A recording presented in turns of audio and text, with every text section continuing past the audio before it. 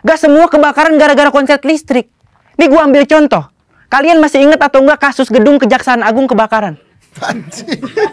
Ada Dan lu tahu itu gedung kebakaran bukan gara-gara konslet. Tapi katanya gara-gara ada kuli yang buang puntung rokok sembarangan.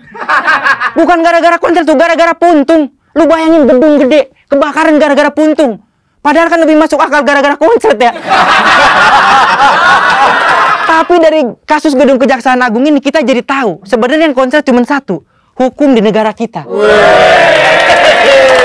Puntung rokok nih dilempar ke gedung, nggak mungkin kebakar. Puntung rokok dilempar, jatuhnya bukan kebakar tapi kesundut ya kan. Dan lu tahu siapa dulu yang nanganin kasus gedung Kejaksaan Agung kebakaran? Mantan Kadip Propam Irjen Polisi Perdi Sam Dor Dor Dor Dor Dor, dor.